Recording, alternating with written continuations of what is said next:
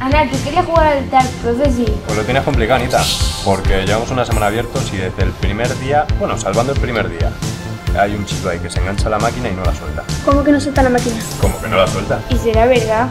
Vale. Pues solo hay una forma de solucionarlo. ¿Vas a jugar más? Es un pique. Oye, chicos, si te ponen la moneda tienes que aceptar el pique. Te estás equivocando. De eso nada, puedo ganarte.